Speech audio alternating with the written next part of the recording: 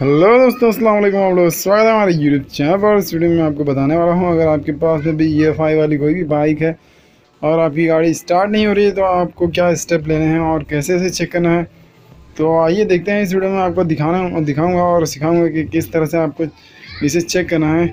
दरअसल क्या होता है, अगर आप चाबी ऑन करते हैं तो आपको महसूस हो सकता है और फील कर सकते हैं। आप कान रख, कान को करीब में ले जाके आप फील कर सकते हैं, आपका मोटर काम कर रहा है क्या नहीं, जो कि फ्यूल टैंक में होता है।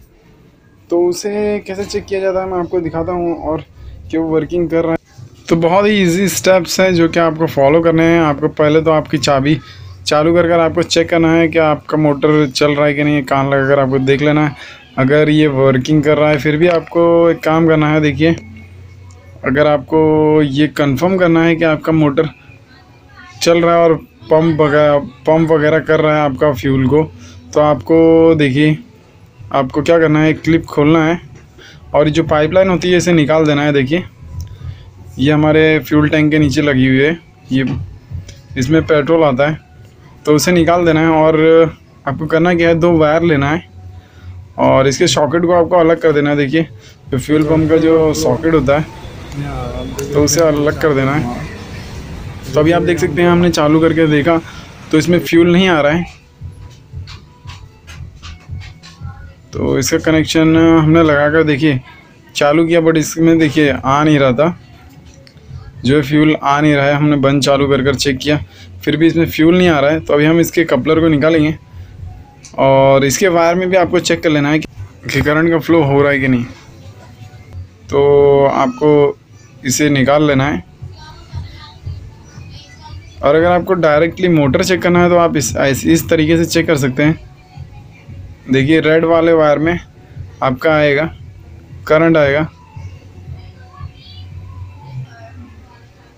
तो आपको इस चेक करना है। देखिए डायरेक्ट हम बैटरी से इसे डायरेक्ट वोल्ट देंगे। रेड एंड ब्लैक में आपको देना है। ब्लैक को अर्थिंग दे देना है और रेड वाले वाले को वायर को आपको पॉजिटिव में डालना है। तो ये दो दो वायरों को आपको लगाना है। बेसिकली और तीसरे वायर के तरफ़ आप मत देखिए। वो गेज वगैरह का है, आपको इतना तो ये देखिए, दो वायर हमने लगा दिया है, और इसे हम डायरेक्ट लगा कर चेक करते हैं। आपको एक चीज़ का ध्यान रखना है, जब भी आप करें तो इसको सेफली कीजिए, क्योंकि अगर पॉजिटिव और निगेटिव अगर आपस में मिलेंगे तो स्पार्क होगा आपका। कॉयल जल सकता है तो थोड़ा ध्यान रख के इसे काम करना पड़ता है, देखिए। दूर दूर रख कर तो अभी हमारी मोटर नहीं चल रही है। तो आपको ये कंफर्म हो जाएगा कि देखिए ये मोटर नहीं चल रही है तो ये कंफर्म है कि इसके अंदर की मोटर का प्रॉब्लम है।